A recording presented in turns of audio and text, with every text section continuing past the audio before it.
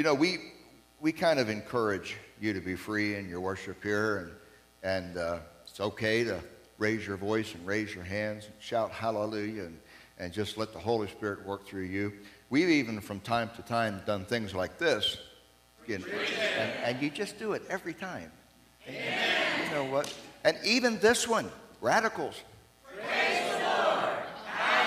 Okay, now, was your motivation in saying those things just because I held the sign up? Or is it something that's going on deep inside? Because you can just repeat things and you can say, oh man, look at this. Aren't they enthusiastic?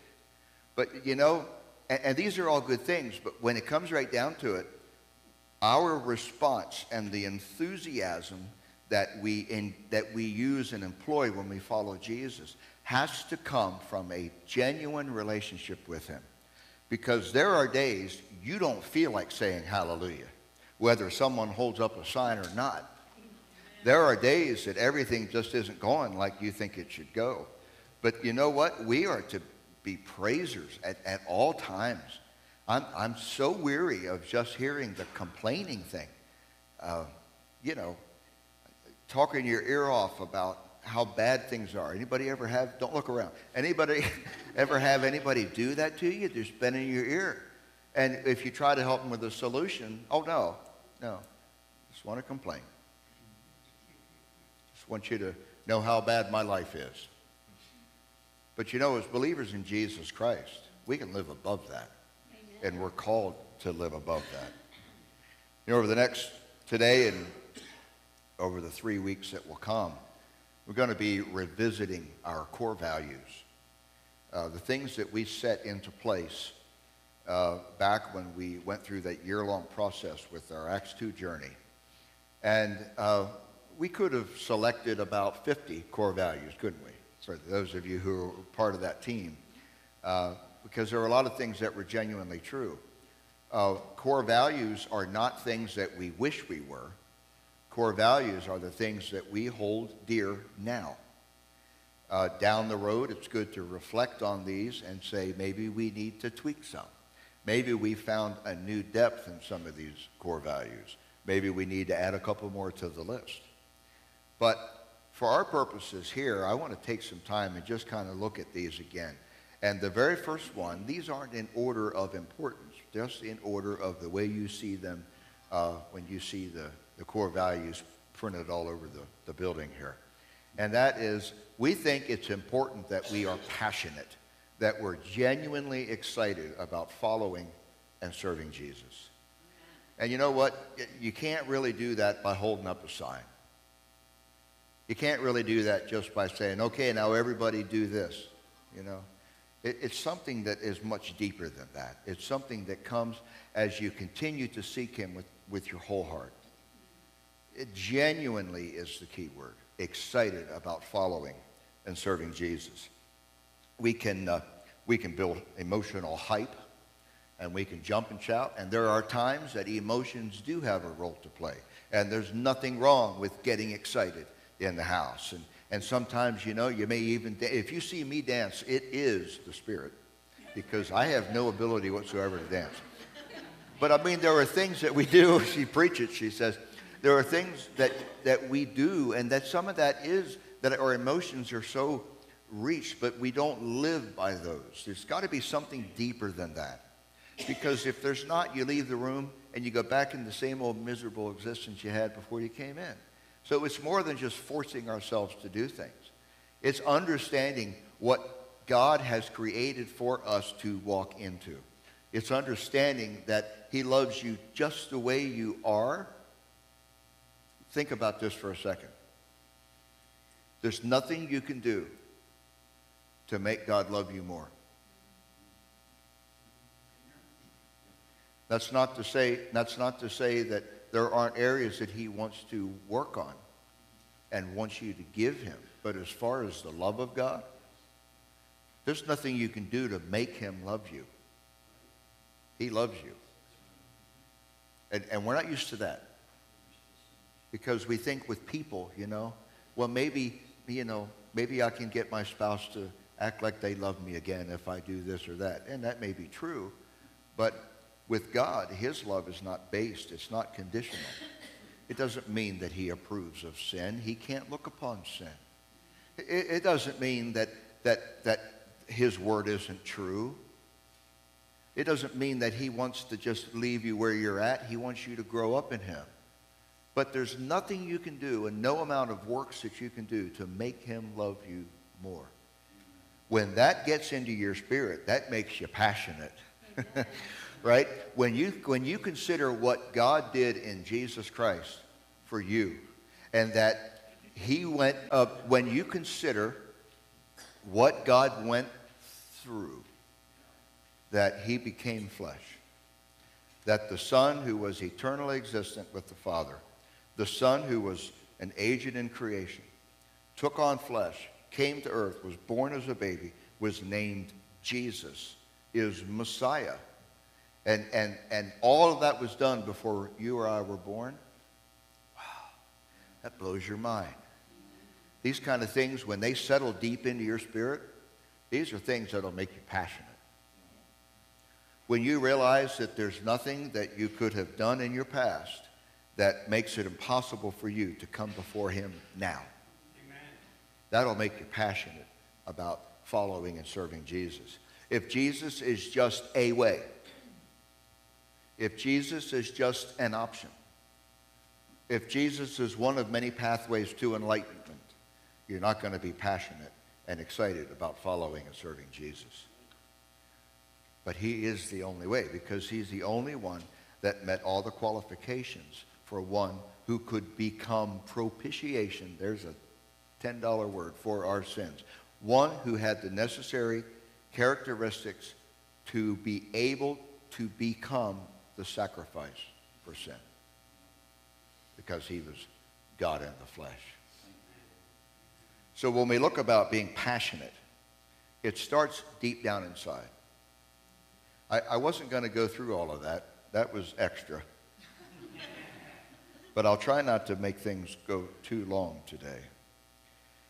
In uh, three of the synoptic gospels, there's, there's an account that I want to talk about just a little bit today. Uh, we find it in Mark 10, Matthew 19, and Luke 18. And we often uh, name this story the story of the rich young ruler. It's interesting because the only thing the Bible really tells us about him is that he was rich. And I want you to ignore, for purposes of better understanding of this person, I don't know about you, but I grew up in Sunday school with the flannel board. Anybody? And the rich young ruler was in robes and a hat, and he had attendants with him, and he had jewelry on, and he was white, blue eyed European. I want you to get that picture out of your mind if it's there. Let's just say that he was a man. And this man had a lot of wealth. He had a lot of things in this life. Doesn't matter if he was young, it doesn't matter if he was in charge or ruler, although by his wealth he probably was in charge of, had people under him. But let's just think of him as a man who recognized that something was missing in his life. And he was trying to figure out what that might be. And with that, I want to read Mark's version today. It's on your screen. Mark 10, uh, just verses 17 to 22, at least for now. As Jesus was starting out on his way to Jerusalem, a man came running up to him, knelt down, and asked, Good teacher, what must I do to inherit eternal life? Why do you call me good? Jesus asked, Only God is truly good. But to answer your question, you know the commandments. You must not murder.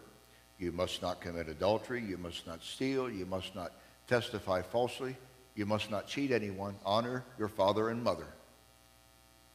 Next. Next slide. well, wake up, teacher.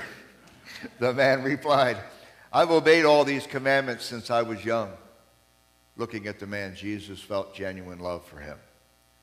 There's still one thing you haven't done. He told him, Go and sell all your possessions and give the money to the poor, and you will have treasure in heaven. Then come follow me. At this, the man's face fell, and he went away sad, for he had many possessions. Um, it's interesting in the three different versions of this in the other Gospels, if you make that note to, to follow it up. In Matthew 19, some of the manuscripts, the Greek manuscripts for Matthew, re- rephrase the beginning of this. And instead of saying, good teacher, the man says, Teacher, what good thing must I do? Um, the other two will come and say, Good teacher. And Jesus asks this question, doesn't he? And it, it sounds a little strange to us. Why do you call me good? Maybe it's because we hear it in a certain tone. We hear it as, why are you calling me good? I don't believe that's how he asked it. I believe he was trying to get to the heart, to the intentions of this young man. And I believe if we take all the emphasis out of it and just hear what he was asking, why do you call me good? I, I think he did this to, to create an awareness that this young man, or this man, or this rich man, or whatever he was, was not coming for a genuine desire to follow Jesus. He was coming to figure out what else do I have to do? Or what's the least I have to do? Right?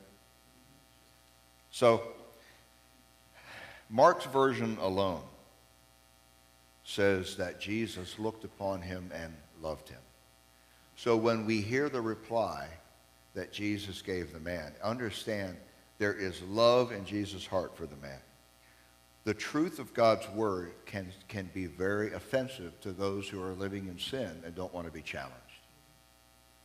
There is a large society of people today that thinks that we are haters because we say that certain things are wrong. It has nothing to do with hate. Maybe from some people it does. But following Jesus, it's not hate. So when we think of what Jesus said to this man, we have to understand the love with which he was speaking to this man. It, I think it's interesting that even amongst the three gospel versions, there are some differences in, in the, the commandments that Jesus lists. Here in Mark, uh, it, the, the, the, the cheating, cheat, you must not cheat.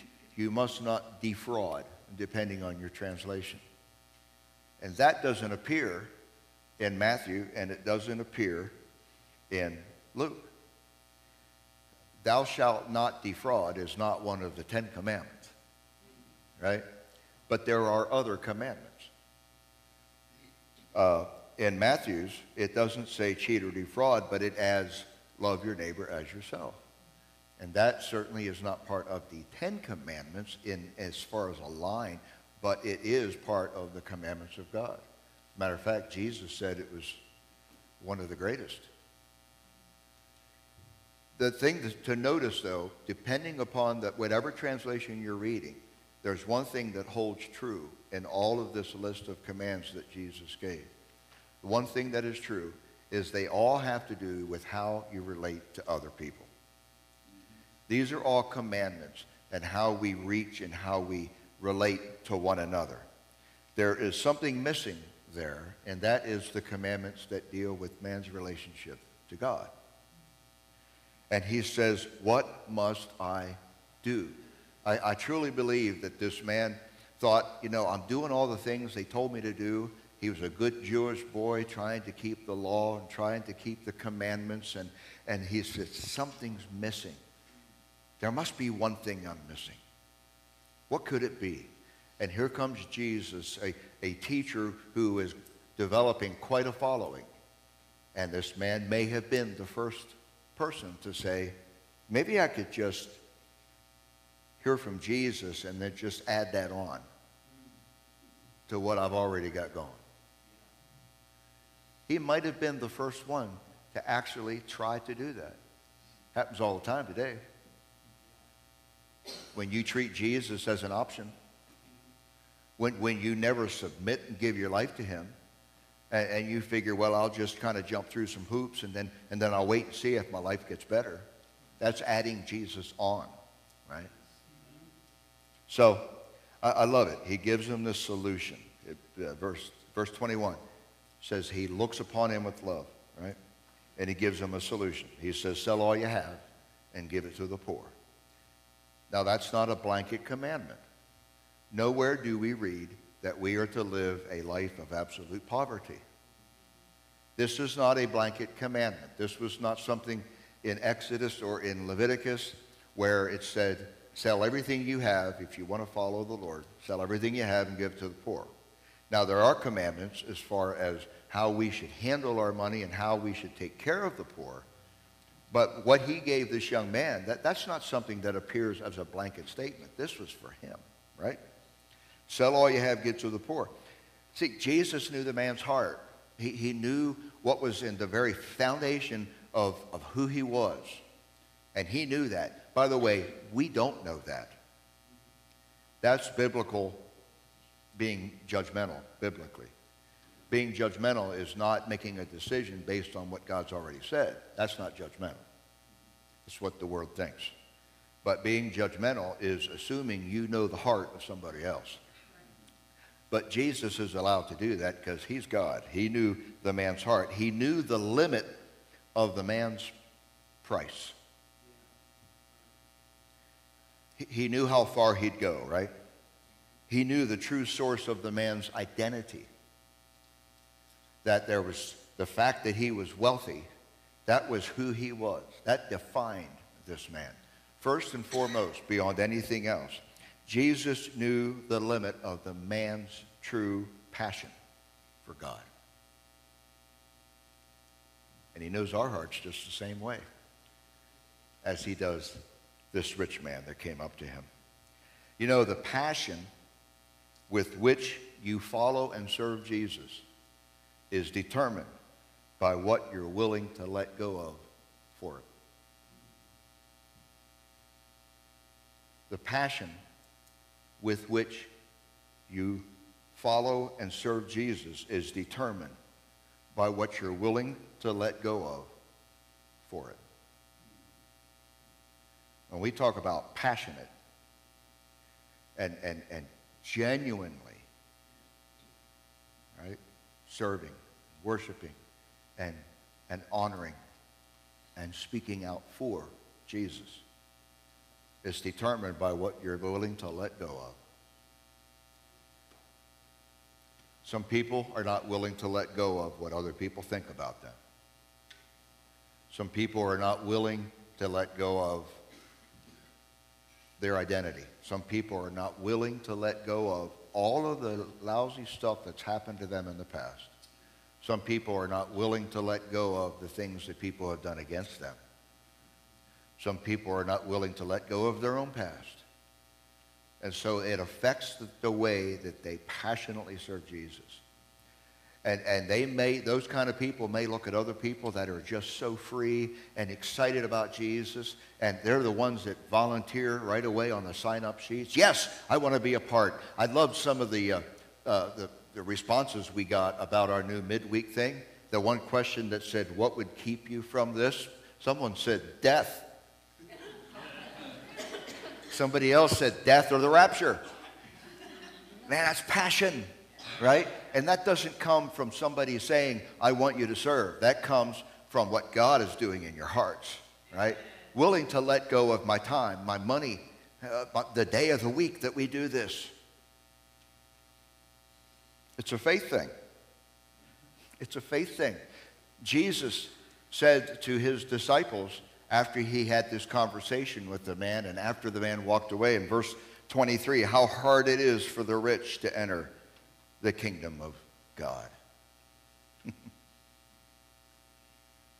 you know, it's interesting. The, the young man asks the question, the rich man, I'm doing it, aren't I? I'm doing what I've always heard, the rich young man. The rich man uh, asked him, What must I do to inherit eternal life? What must I do to live forever? And, and the Greek word that is translated life can mean the life here and now, but it can also mean forever. And I think it's interesting um, that we could say, What do I need to do to inherit eternal life, to have this given to me? And then contrast that with the act of entering the kingdom of God or the kingdom of heaven. Because there is a difference. There is a difference. The kingdom of heaven is now and yet it will be. The kingdom of God goes beyond national boundaries, right? The, the kingdom of God goes beyond our nationality. The kingdom of God uh, is in spite of the bondage that other people may be putting on us, whether that's a mortgage company, a prison warden, or an addiction. Entering the kingdom of God is not as much about dying and going to heaven as it is entering into a new way of living, a new way of thinking, a new way of loving, a new way of prioritizing, all of this stuff. So I wonder sometimes if, if this man was not just kind of thinking, I want to keep doing everything I'm doing, but I want to make sure when I die I go to heaven. I mean, a lot of people must think that, or else they wouldn't ask stupid questions. Like, can I smoke and still go to heaven? And yeah, you can, you just get there quicker. but, but why even bring it up, right? Can I not show up in church every week and still go to heaven? Well, yeah. Yeah, this going to church. It says don't forsake the assembling of yourselves together. But if you're in the kingdom of heaven and living in the kingdom of God, why would you not want to get together with other believers and come together and worship together and lean on one another? Why would you want to put things in your body that aren't supposed to be there? Right? So if you're looking to just kind of get out of hell free, that's a totally different, you're not going to be passionate if you're just looking to get out of hell free. And I don't know this young man, this man. Uh, keep doing that. I wouldn't, I don't know exactly what he was thinking, but by his reaction when Jesus told him to go sell his possessions and give money to the poor, the fact that he, he his face fell and he went away sad makes me think that he really wasn't looking to enter the kingdom of God. He was just looking to make heaven after his life was through. Verse 48, verse 28. Peter says, We've, we've given up everything. It's scaring the disciples. We've given up everything to follow you.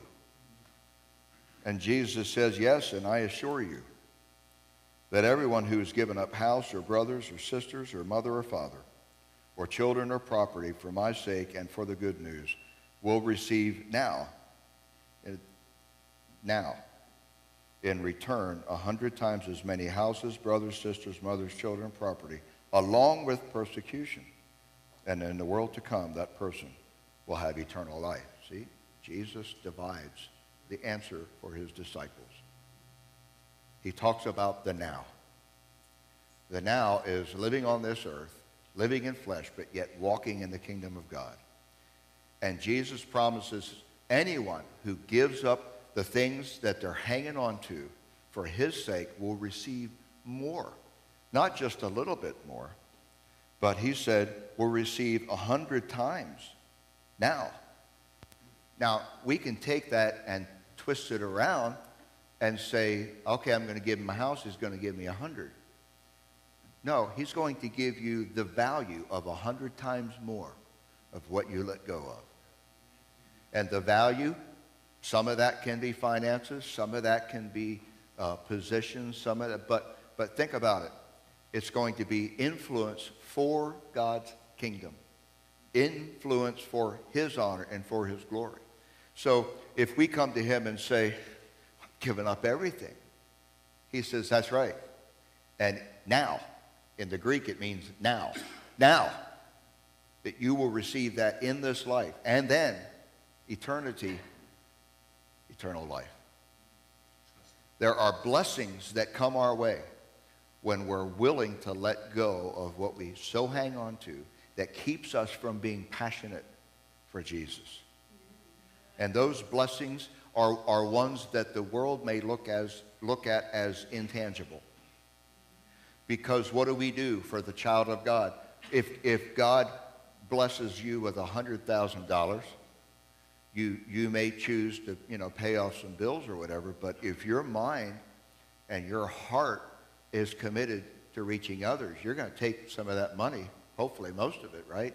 And, and use it for kingdom causes. If someone drops a million dollars on us as a church, we're going to invest it in souls.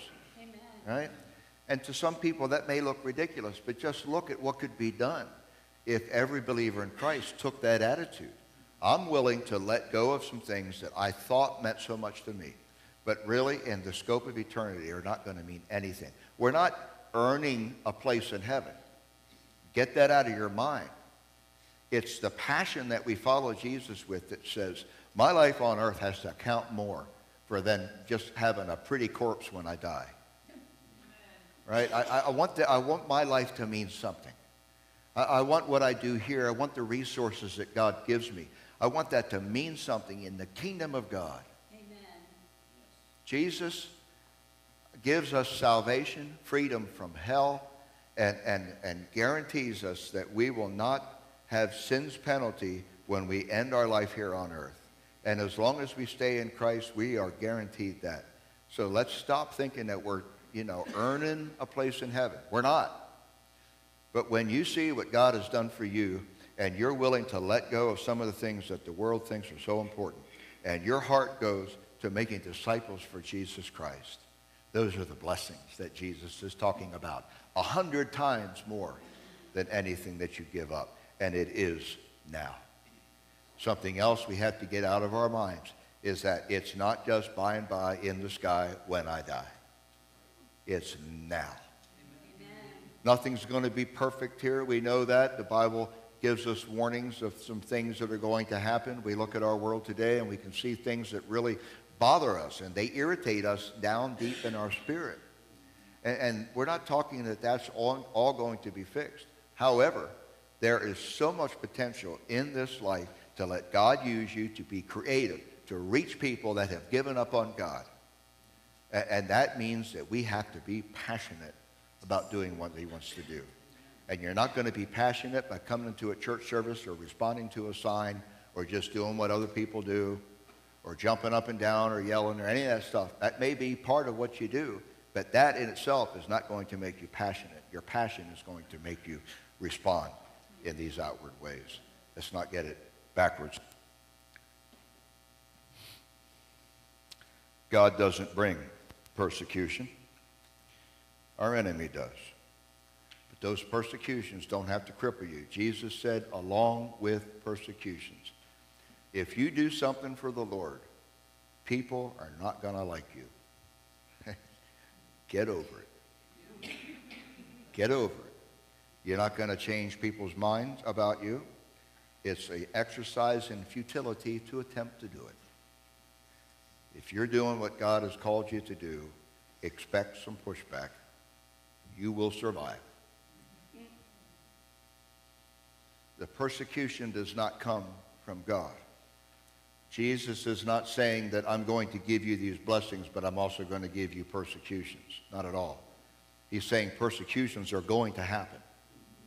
I think sometimes people are so worried about what other people think of them. And this does not give us an excuse to just be mean and nasty. That's not Christ-like. But you're not going to make everybody happy. I've heard people say, as a pastor to me and to other pastors. Well, you can't keep everybody happy. It's not my job. It's nowhere in my job description to make people happy. It's not. Now, not in my job description to tick everybody off either. But it's not part of the deal. Part of the deal is preaching the gospel, not Tim's gospel. Gospel of God, right? So you know what? If, if that's keeping you from holding back, and, in serving the Lord, if that's keeping you from letting that passion uh, roll up inside of you, you know what? someone is going to say something about you, and five minutes later, they're going to forget you even exist. So let it go. Let it go.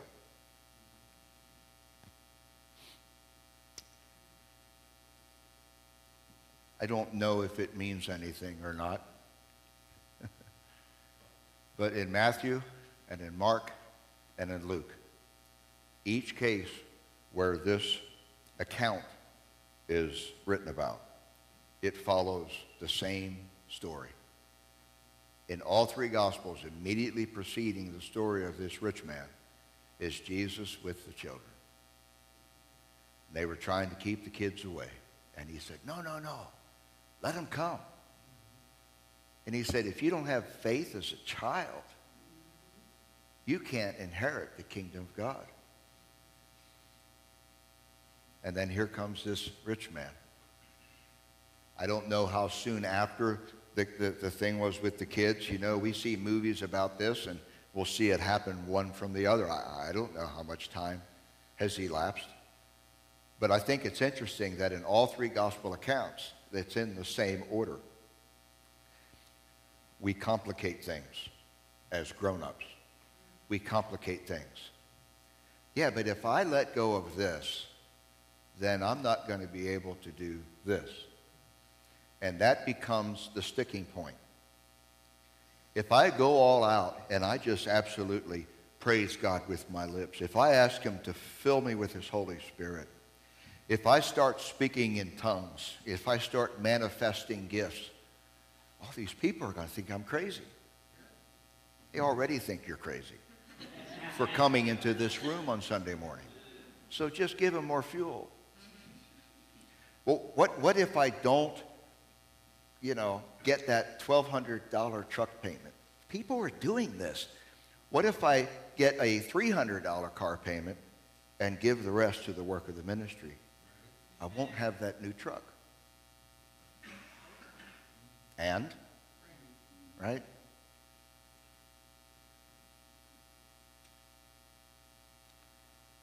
We have to think like children. My God is going to supply everything I need. My dad, my mom, is not going to, are not going to let anything bad happen to me. Isn't that what kids think? and we grow up and we become adults and we find out that we're able to do some things on our own and we start thinking that we can do everything on our own. And that's usually when we get into trouble. I think it's neat that right after Jesus said, faith as a child is what it takes, we come upon this rich man who in his case, his riches, his earthly possessions were his everything. And he was trying to figure out what can I do to get rid of some of this guilt I'm feeling and not have to give up all of this. And Jesus disappointed him because he didn't give him the answer that he had wanted. I think today we ask Jesus, what more do I need to do to enter the kingdom of God? So let me, let me give you a little reprieve and a little exhale. It's not about what you do. It's not about what you do. That's, that's like the wagon pulling the horse. It's not what you do. It's who you are. Deep down inside. It, it's your heart motivations. It's what is most important. What am I willing to let go of? Because that's the level of your passion. And you know what? This is not something that we say, oh, now I've achieved a greater passion for Jesus. No. It's that God's finally getting through to us through our thick heads sometimes. Here's how you're supposed to live. Here's how I've designed for you to live. Here's how you're going to be happy. Here's how you're going to be fulfilled. Here's how you are going to just get to a point where you just step from one existence into the next when your time on earth is through. I'm going to save you a lot of anxiety. I'm going to save you a lot of stress. I'm going to save you a lot of worry. God says, if you just do things my way, He has, just like God has created everything that we see in six days, He has also created everything that we need for life and godliness when Jesus hung on the cross. And we just have to trust Him and go. Come into the place where God heals. Come into the place where God speaks. Come into the place where God delivers. Understanding it's not a physical place in a building, but it's a place in our minds where we say, I am going to serve you with everything I have. I'm going to take you at your word. I'm going to trust you more now than I ever have before. What do you think might happen if you trusted him completely?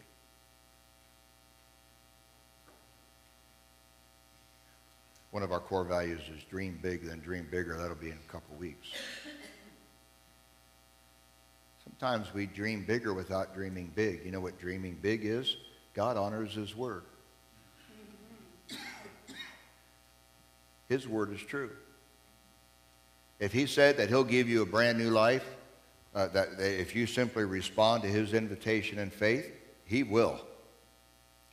If he, if he says that he will supply all your needs according to his riches and glory, he will.